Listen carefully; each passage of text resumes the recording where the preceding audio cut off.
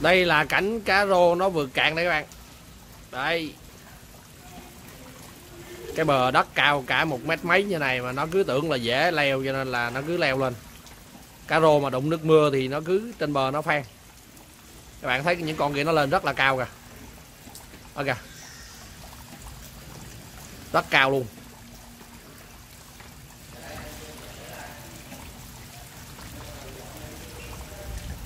Rất cao. Rất tiếc là ở đây nó hơi xa mà mình không thể nào qua gần để mình quay rõ cho các bạn xem được.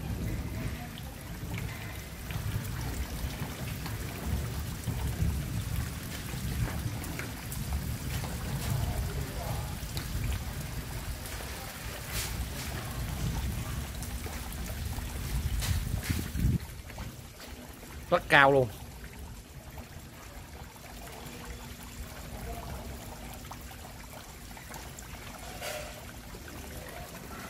Cá rô nó có một cái đặc điểm là hệ cứ trời mưa xuống là nó phi ra ngoài các bạn. Trời mưa là nó cứ nghĩ là nước chỉ dâng lên và nó sẽ nhảy qua cái chỗ khác. Đó, một con lên rất cao kìa. Ôi chà ôi chà ôi nó lươn lên kìa. Đó đó đó, nó leo lên kìa. Ô ô ô ô. Rồi, uổng công. Tới con bên này.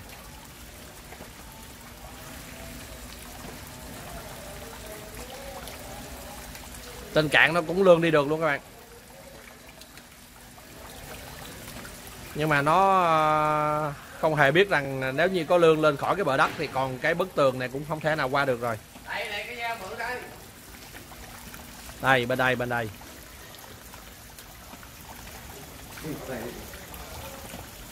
Vụ này vui nè.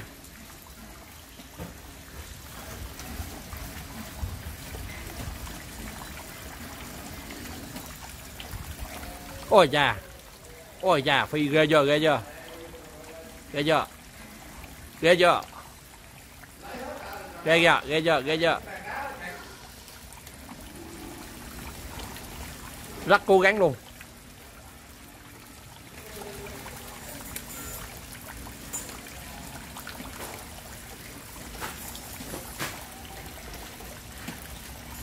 Những con cá rô này rất là to rồi.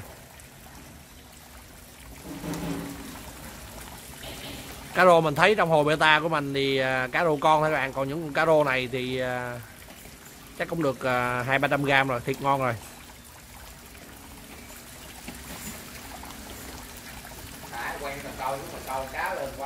Cái này anh nuôi lâu chưa?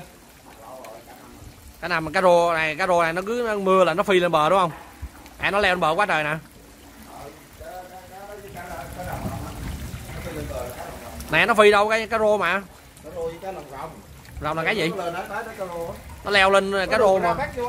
thôi bắt làm gì?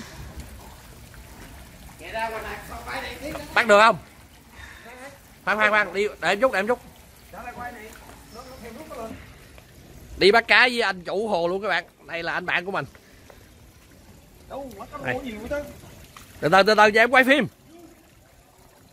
Từ cho em quay phim để em phi cái hồ này chết dịch luôn á.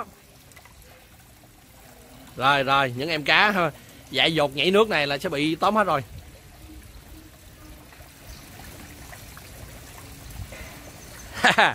Đúng ra mình phải nghĩ ra cái việc này lâu hơn chứ. Được mấy con rồi? Đâu đâu đâu đâu đâu? Số đâu ra bây giờ? Đây đây, tóm được hai con. Các bạn nhìn thấy con cá rô này đã không? Wow, con cá rô này bự à nhiều đấy nhiều đấy rồi, bắt tiếp đây, bắt tiếp đây. Vụ này vui đây.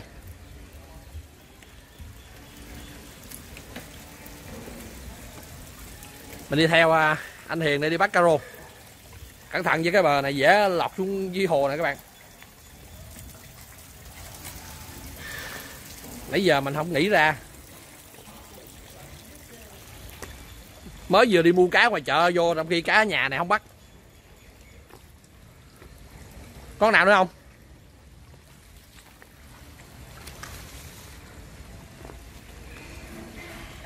Được theo con nào đâu, đứng chờ chờ nó nhảy lên là bắt không đây, cái mương ờ, cái ờ, cái dòng nước này chính là cái ờ, kích thích cá rô nó nhảy lên nè các bạn. Hồ này là nuôi cá tay tượng với lại cá rô nè. Ăn móng ngoài kia quá trời, quá đất kìa. Có con nào nhảy lên nữa không? Anh me me me cho nó nó nhảy lên thôi nãy nó nhảy lên chỗ đây quá trời luôn nè.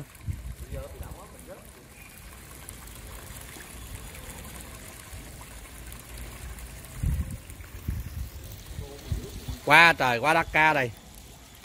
Đây đây đây.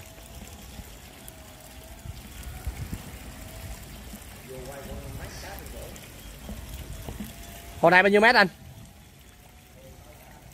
Sâu 3 mét là hả?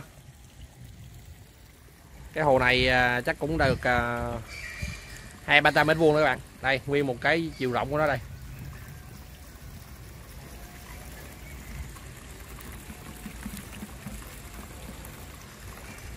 Đây, bắt được có ba con à. Những con cá rô này là thịt rất ngon rồi.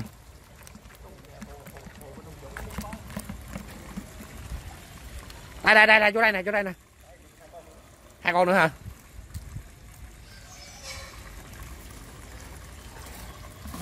Ấy vậy chết mẹ chết mẹ. Uống công uống công uống công em bắt quay phim thì ra không đỡ được uống công rồi cuối cùng. À, cuối cùng còn có một con. thành tích khác. Ơi trời ơi. Ơi còn được hai con. Năm con mà còn được hai con mà còn hai con nhí còn ba con lớn con lớn mất tiêu rồi.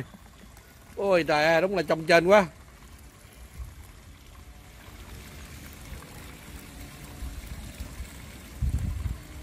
chịu khó chờ chút rồi đi cá cũng lọt xuống hồ thì cũng của mình thôi chứ không của ai hôm nay không ăn thì mai ăn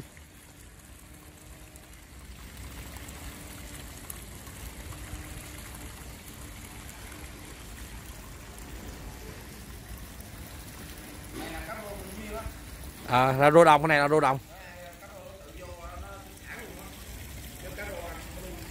Ủa cá rô không nuôi à? Ở đây chỉ nuôi rô phi thôi, cá rô ở đây là ngoài đồng nó vô hả? À. Đây cũng có lý các bạn, tại à, khu vực cái hồ này nó thấp hơn những cái à, ruộng bên này cho nên là những cái con cá rô nó bên à, ngoài ruộng nó đã theo những cái à, dòng chảy. Nó vô đây, theo những cái dòng chảy này nè.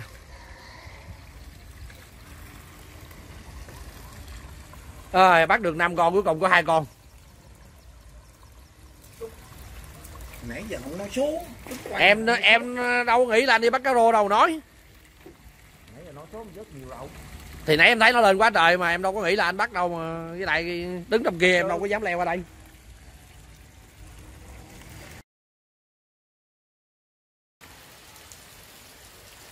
Lên nữa rồi, lên nữa rồi.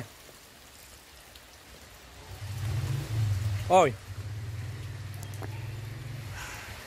Đây, những con cá rô này lên tới trên bờ luôn rồi. Ôi trời ơi ôi trời. Nó lên tới trên đây luôn kìa đây đây đây đây bắt lên hiền ơi. Đây đây đây đây, nó lên tới trên bờ luôn rồi. Ôi, giờ nó lên vô đây đây đây đây. Ôi, quá trời quá trời.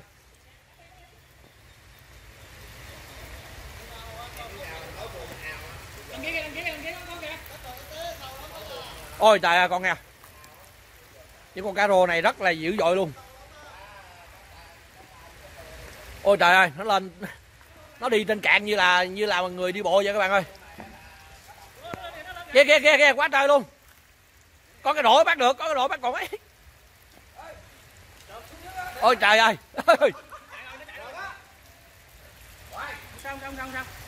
Đây đây đây đây bắt con này nè. Ôi một con bắt cái con nữa này nè anh. Đây đây đây, đây lẹ lẹ nó nó giọt. Cứ quăng lên đây rồi tính. Kia kìa, đằng kia mấy con kìa. à, à kia bên kia nữa Rồi hai con, hai con cho nó đó, hai con trên bờ đó.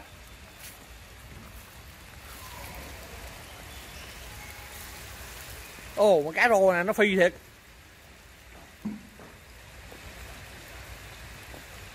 ôi trời ơi nó chạy lên tút trên bờ luôn luôn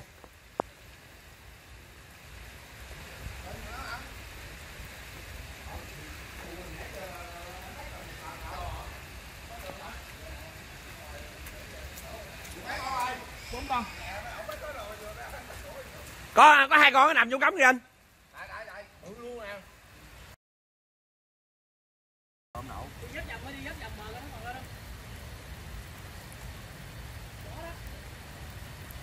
Không thể tin là có thể bắt cá trên cạn luôn. Bắt cá bắt cá không cần xuống nước mà bắt cá trên bờ luôn. Mới ghê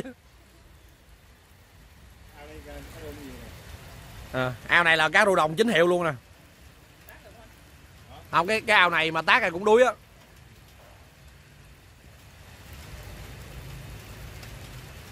Anh bạn mình đang à, cầm cái rổ đây đi bắt cá à, nhảy lên cạn. Đồ nghề đầy đủ thì à, cá đi đâu ờ, cá đi đâu hết hình như cũng bắt được mấy con mà phải không? Từ Ồ, à, cá này là nó leo từ dưới cái hồ kia mà nó băng qua cái tường này qua những cái à, cái rãnh nè à, đại hồ đây nữa Chị ra rồi. Bốn tàu không chị ra rồi. đầu con tiêu rồi ở đây là cụ chi đó các bạn. Con cua. À, có cua nữa nè ồ bây giờ có dụng cụ à, có cái vợt này đem đem ra mình vớt bên hồ kia được luôn em. Hết rồi hết cá rồi. Đầy đủ đồ nghề hết cá rồi. Con là. vậy là bắt được hai con chỗ này phải không? Này giờ nó vô đó rồi thua rồi con cá lóc này đây lóc mà chưa lên mình canh me bên kia thế nào cũng có nữa. Ơi sau hai hiệp thì bây giờ coi. Được mấy con nè anh? Hả? Được mấy con này? Hai bốn sáu tám con à. Tám con chứ- à, nãy hai con thôi không? bốn sáu tám chín con.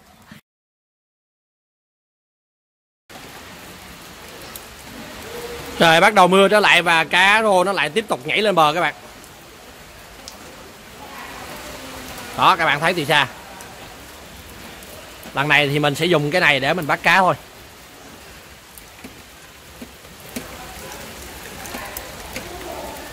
Mình sẽ đi lên cái à, g này nha các bạn. Nó hơi bị treo leo.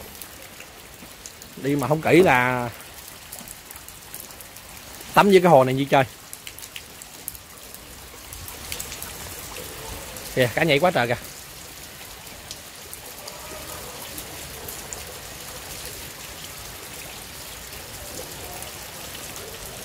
Đợi một lát nữa thì nó sẽ leo lên bờ luôn các bạn.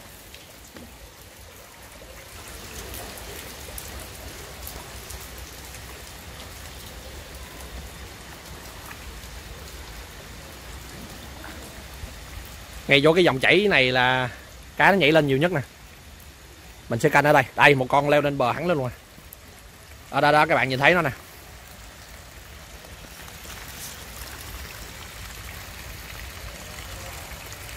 Lúc nãy là những anh bạn của mình bắt, còn bây giờ là mình trực tiếp bắt luôn các bạn.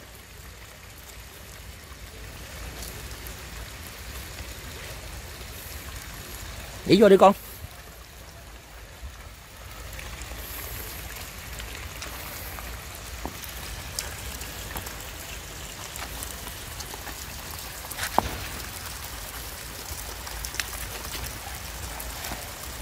Rồi, một con, nó vô rọ mình sẽ canh để bắt những cái con bên dưới này luôn. Bắt cá trên bờ mới đã chứ.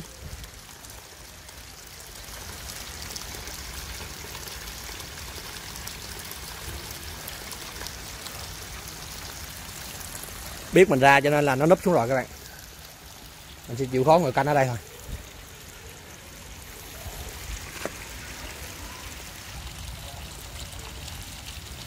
Lên nữa rồi các bạn. Đó, lên nữa rồi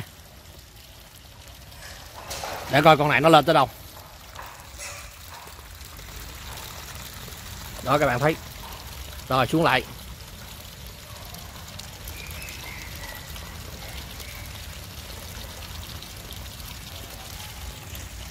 Với cái vợt này muốn bắt con cá vừa rồi thì rất là dễ các bạn. Chẳng qua là mình muốn quay cho các bạn xem con cá nó phi lên bờ như thế nào thôi.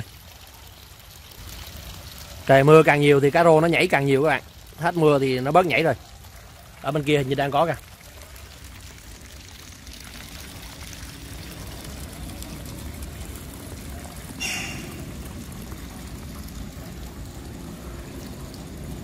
Cá rô nó sẽ lên à, ở những cái à, cái chỗ mà có nước chảy xuống nè.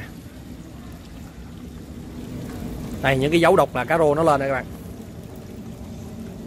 Kìa kìa kìa kìa, kìa. trong góc kìa quá trời kìa. Trong góc kìa quá trời kìa. Đó đó đó các bạn thấy nè.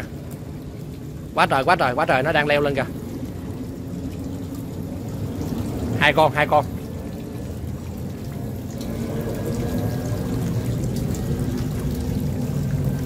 Tay thì mình sẽ xuống mình bắt bằng tay luôn. Quá dễ dàng các bạn, ba con. Không thể tin được câu chuyện này.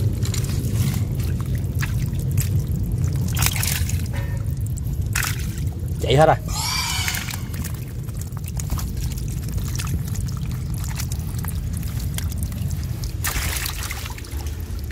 ba con nhưng mình bắt quay phim chỉ bắt được có một con thôi các bạn.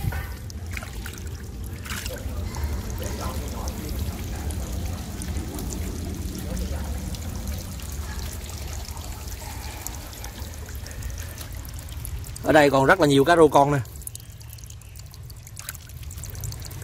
Ngay chỗ đây không là có ba con bắt tay được mình bắt quay phim chứ bắt được có một con.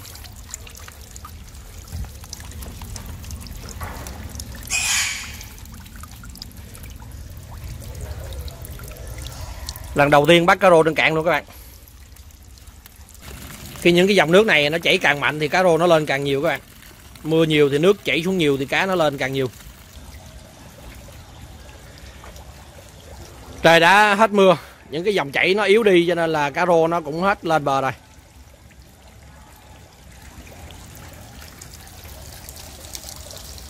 Lần thứ ba ra quân mình tóm được thêm hai con cá rô. Như vậy cũng là quá thành công rồi.